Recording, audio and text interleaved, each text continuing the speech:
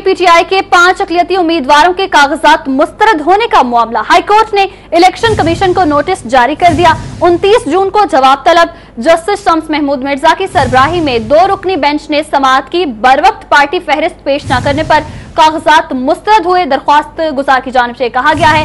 Appellate tribunal ने भी हमारी अपील खारिज कर दी है। तमाम कानूनी तकाजे पूरे करते हैं। कागजात मंजूर किए जाए। इस्तः ये की गई है। मलिक अशरफ से जानेंगे। जी मलिक अशरफ, आगाह कीजिएगा।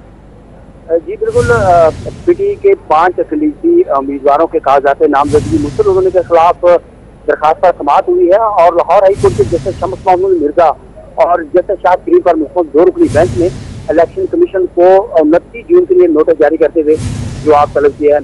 दरखास्त गुजार आरफन बशीद में दिगर की जानब से तीन मसूद चिश्ती एडवोकेट भेज हुए और उन्होंने मौके तैयार किया कि पीटी की जानब से बर वक्त अकलीसी उम्मीदवारों की फिस्ट न मिलने पर रिटर्निंग अफसर ने उनके कागजात नामजदगी मुस्तरद किए थे। उनका ये कहना है कि इसके खिलाफ उन्होंने इलेक्शन ट्रिब्यूनल में अपील भी की, जो खारिज कर दी गई है।